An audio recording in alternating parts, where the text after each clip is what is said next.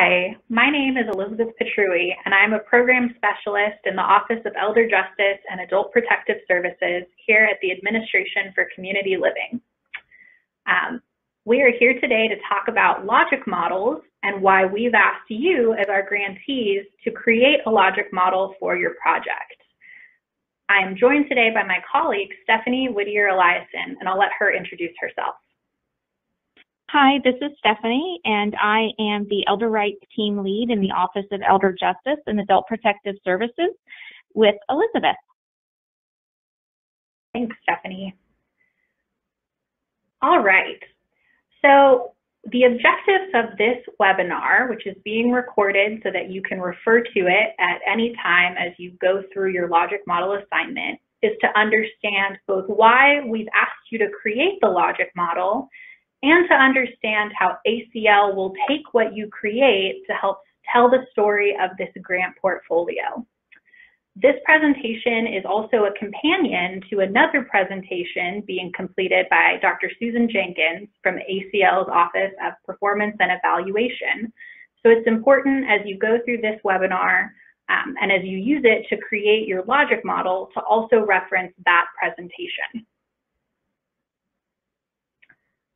During this session, we'll go through the rationale behind the logic model assignment, review the APS process model, which is a high-level overview of adult protective services, review the logic model assignment, how to complete it, the different components, discuss how you'll map your logic model to that APS process model, and discuss how ACL uses this information um, once you've sent it to us.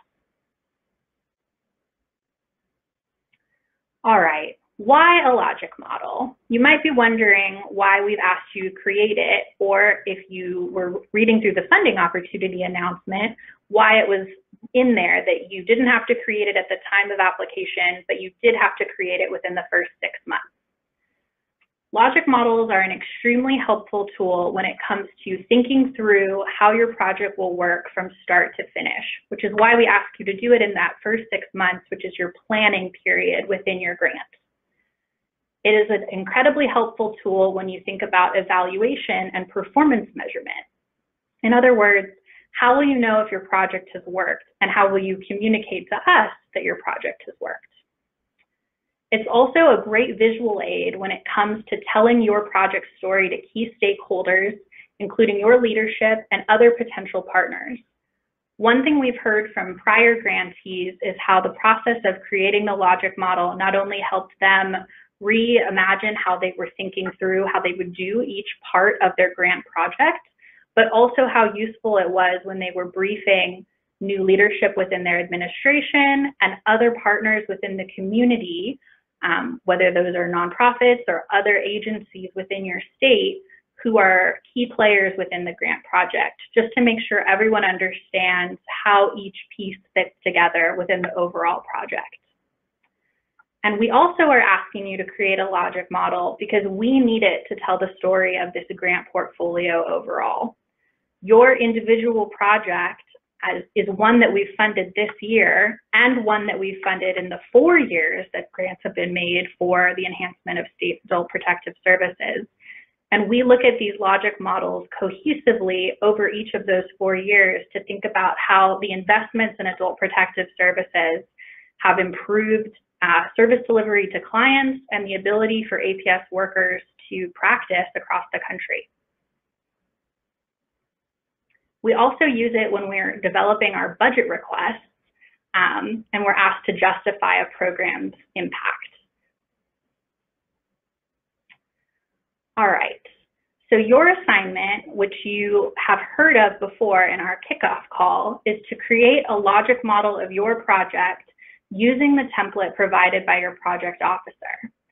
If you haven't received this template yet, um, ask your project officer and they'll be sure to provide it to you. Once you've created your project's logic model, you will then map your logic model to the APS process model using the mapping document. That seems complicated, don't worry. And then there's three categories across this middle section. the objectives and activities.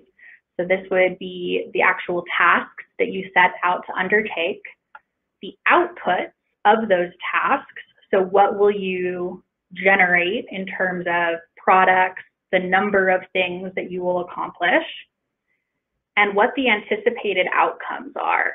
So how will those activities and the outputs that you measured from the activities actually make a difference? So we will have each state create one of these for their project. Um, and this will be a very useful tool for you as you think about your project holistically and also as we think about the portfolio overall. Now, some things to remember and some tips. As I've mentioned before, you'll want to reference that APS process model, which Stephanie is about to go into in a lot more detail, and ask yourself which domains your project falls into within that model. Are you focusing on one particular section of the process model or more than one? For example, if you're creating or improving a program, a training program for staff, that would fall under operational support under inputs and resources in that APS process model. And with that, I'm going to hand it over to Stephanie to talk about that. Thanks, Elizabeth. So yes, I will be speaking about the APS process model and help you all to understand how it's organized and uh, what's in there and so that you all can walk what you're doing across onto the process logic model and we can keep moving on in your assignment. So on the next slide, it's very um, detailed. This is our APS process logic model. So what does that mean? a process logic model is a visual way to organize in a flow from left to right the way something works or a step-by-step process, sort of self-evident. Uh, you will receive this as an attachment or a handout. Um, you'll be able to see it in more detail. But when we're talking about doing a grant to improve adult protective services, the question is, okay, well, what, what exactly? What part of APS? Uh, we have the people who receive the phone calls and the reports. We have the people who might be doing the emergency response investigations or any of the investigations, uh, initiating the contact versus ongoing work or casework. Um, and then we have like after the investigation is done, um, anything that's involved with that. And then we also have quality assurance. So what is our feedback loop? How do we make sure that um, we've done the best that we could for the person that we were working with? So this is organized to reflect uh, context. And then the next column to the right is the input and resources. That is your staff, consultants, partners, operational support, as Elizabeth mentioned on a previous slide. Um, so what does that mean? Well, it's your policies, your business processes and procedures, how you hire people and train them, etc. Another input is funding. And then we also have your legal and ethical processes about protecting rights, confidentiality, etc. And then under activities and metrics, you have a number of different um, phases, as we mentioned, intake, investigation, and post-investigation. You'll notice in the last column on the right, it says expected results and not an outcome, because this is a process logic model, not a logic model talking about outcomes or an outcome logic model. So I don't want to say that the outcome of all of these activities will be something that I can't necessarily measure because this, uh, by what I've put in this logic model. This logic model is about a flow, a business flow and a process. So what is the result of that action? So these are the components of how APS works. Your project's logic models will then talk to us about the outcome, the so what. So what after I've done the intake investigation and I have my expected result. What is that outcome? So that's what your logic model is going to be doing. We wanted to give you the context of what a process model was and is and what you'll be mapping to by showing you this. So let's move on to the next slide. And we'll, and this is where you'll see your mapping. So Elizabeth showed you and we shared with you a logic model. What are your objectives? What are your outputs? What are your outcomes? And then we have the process logic model, which breaks down all the different components of adult protective services. And so now what we want you to do is take those two and sort of match them up. So we want you to look at your logic model and identify for those activities that you're doing, where do they fall in the process logic model? And so here's an example of a state where they said, oh, under input and resources, I'm going to circle create new enhance or create new or enhance existing operational support. And also I fall under quality assurance because we're talking about data capacity. So you have a very succinct statement about your project in your one page logic model that's on eight and a half by 11 paper and font that you can read. And then you have your process logic model for APS overall, which we talk about the different components. And then you just plop your state um, into those components or you circle those components for what you'll be working on. Next slide, please. So I'm going to turn it over to Elizabeth, who's then going to talk about, okay, now that you've done all this, how do you use your logic model? Thanks, Stephanie. All right. So as Stephanie said, once you've completed your logic model and mapped it onto that APS process model, you're going to send us two documents. You're going to send both your project model, your logic model specifically for your grant that ACL has funded you to complete, and you'll send us your mapping document, which shows which of those APS process model components your project is dealing with. Once we have those two pieces, we are going to combine every state's mapping document into one overall map. And this is what it looks like. And much like the APS process model, it's a little bit hard to see, but we will provide this to you as a separate document.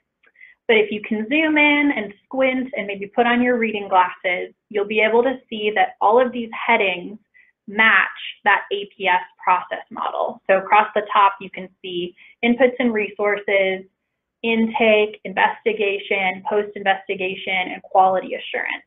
So those match to each of those process steps within your APS business flow.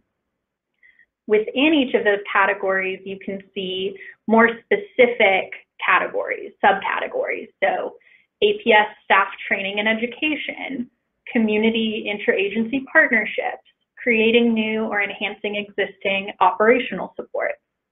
And then under each of those subcategories, you'll see a bullet that lists a state with a year in parentheses. So just by looking at this one document, you have a sense of what every project that we funded in 2015, 2016, and 2018 for grants to enhance state adult protective services is working on within their project. And when you take it collectively and overall, you can see that there are some categories that are overwhelming, um, such as enhancing operational support and expanding data capacity. So once we've combined all of your individual information into this overall document, it becomes easy for us to back up a claim that the majority of states are requesting these grant dollars in order to enhance operational supports, to build infrastructure, and to expand their data capacity to be able to report more to NAMRS. It also gives us really interesting insights on what categories states are not necessarily requesting. So you can see right now only one of the states, and at this point we've funded 48, um, is working on interviews. So that's really interesting. Does that mean that interviews aren't important or that they're perfect right now? No, but That's just one piece of information that we have when we look at everything overall that we might not if we looked at each project individually. So once we have all of your um, logic models and the mapping documents, we will add you to this document so that we will be able to see, um, as this portfolio progresses, even more information. Um, we also use that overall information in order to make funding requests. And I'm going to let Stephanie talk about this because she has the most experience actually writing those funding requests. That's the fun of my job is I get to write those.